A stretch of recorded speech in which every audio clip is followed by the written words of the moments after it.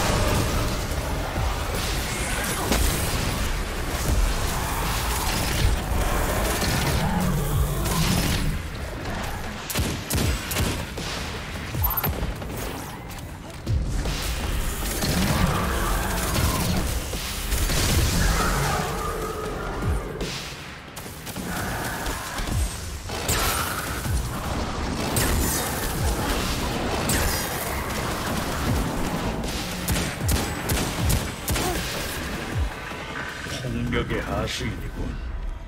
또 무엇을 도태시키려 하느냐?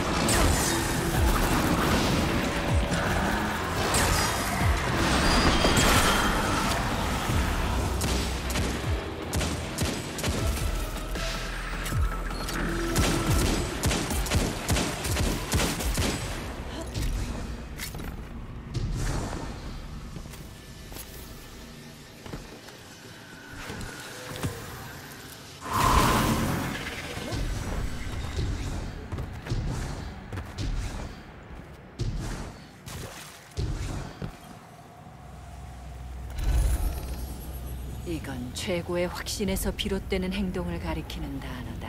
하나밖에 모르는 신념. 거의 맹신이라 해도 좋을 것이 극단적인 행동을 낳는 거지.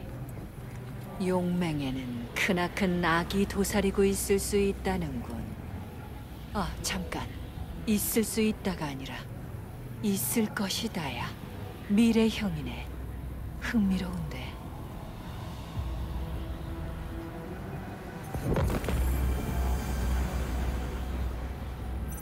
이 메시지는 오염이 없는 상태를 말한다.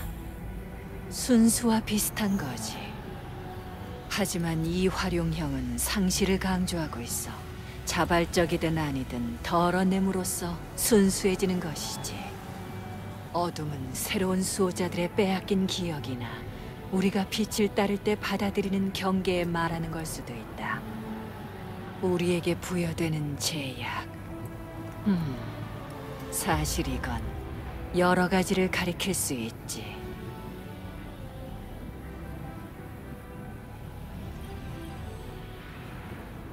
이 단어는 창조와 관련이 있다. 하지만 여기는 거짓으로 제시돼 있군. 태어나지 않은 이란 뜻이다. 우리는 수호자들이 빛으로서 다시 태어난다고 하지만 가끔은 나도 의문이 들지. 다시 살겠다는 선택은 우리의 것이 아니었으니. 이건 언어학적으로 특이하군. 반응 신호, 소리의 끄덕임, 긍정. 어둠은 우리에게 지금의 길로 계속 나아가라고 간청하고 있어. 자기가 우리를 응원하고 있다고 생각하고 있군. 희한한데.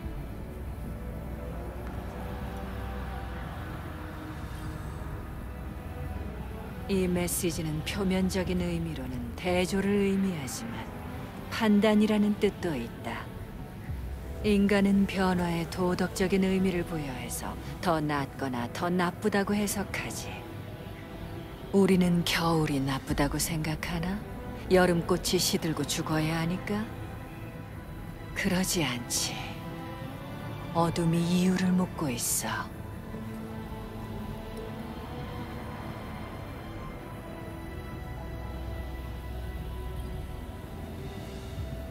이 말은 변화 이전의 순간을 지칭하고 있어. 이전? 아니, 직전.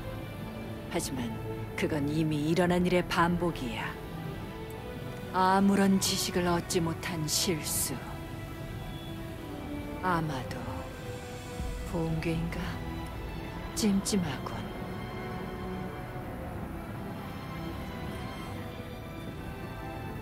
이 구조는 하얗다는 뜻이야. 색이라기보다는 무색을 나타내지. 흐리멍텅한 공허이자 오래전 죽어버린 것이 비바람에 균질해진 것.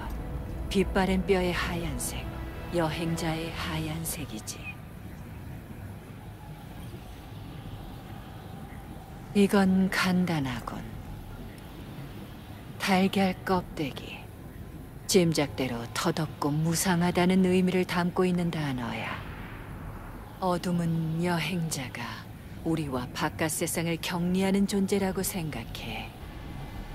우리가 성장하면서 깨고 나아가야 하는 장벽이지.